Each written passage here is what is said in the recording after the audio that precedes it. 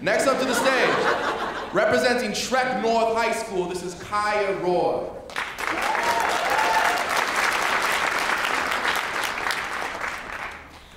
Ode on the Death of a Favorite Cat, Drowned in a Tub of Goldfishes by Thomas Gray. Twas on a lofty vase's side, where China's gayest art had dyed, the azure flowers that blow, demurest of the tabby kind, the pensive Selima reclined, gazed on the lake below. Her conscious tail, her joy declared, the fair round face and snowy beard, the velvet of her paws, her coat that with the tortoise vies, her ears of jet and emerald eyes, she saw and heard applause. Still had she gazed, but midst the tide, two angel forms were seen to glide, the genii of the stream.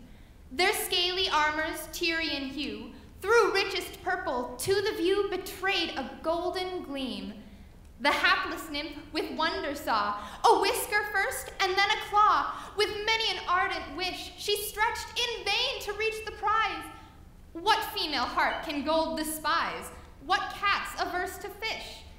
Presumptuous maid, with looks intent, again she stretched, again she bent, nor knew the gulf between.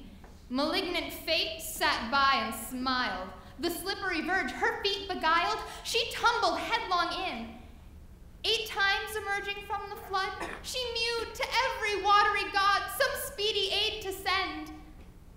No dolphin came, no nereid stirred, cruel Tom, nor Susan heard. A favorite has know friend. From hence, ye beauties undeceived, no one false step is ne'er retrieved. And be with caution, bold. Not all that tempts your wandering eyes and heedless hearts is lawful prize, nor all that glisters, gold.